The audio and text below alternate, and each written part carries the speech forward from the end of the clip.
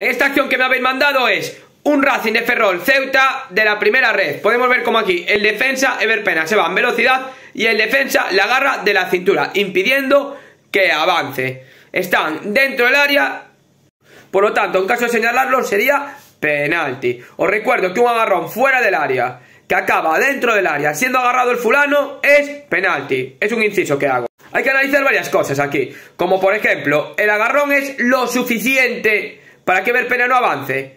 Para mí, viendo esta imagen, sí, es suficiente para que Verpena no avance con tranquilidad. Verpena tiene el balón controlado.